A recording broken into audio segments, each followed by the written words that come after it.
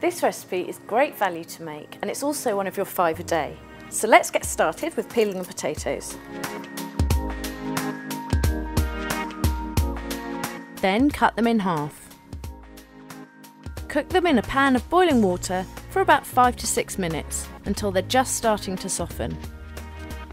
Then drain the potatoes and leave them until cool enough to handle.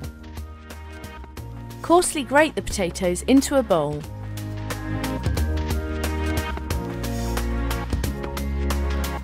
And season. Heat a tablespoon of olive oil in a non-stick frying pan and cook a thinly sliced leek for 5 minutes until soft but not browned.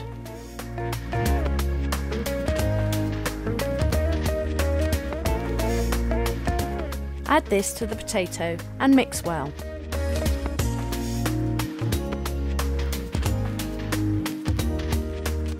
Place a drained 400 gram can of chickpeas, 20 grams of chopped coriander, a coarsely grated carrot, a teaspoon of ground coriander,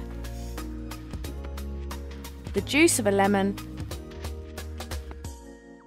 and some seasoning into a bowl and mix together.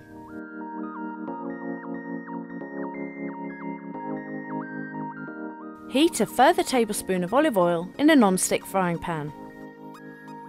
Divide the potato mixture into four and shape it into rough cakes with your hands.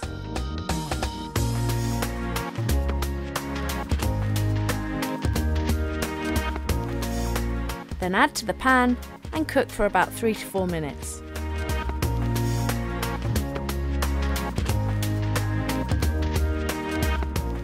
Turn the rosti over and cook the other side until golden brown.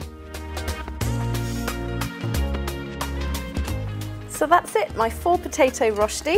As easy as that, and if you like, you could make one big one and then just cut it into wedges to serve.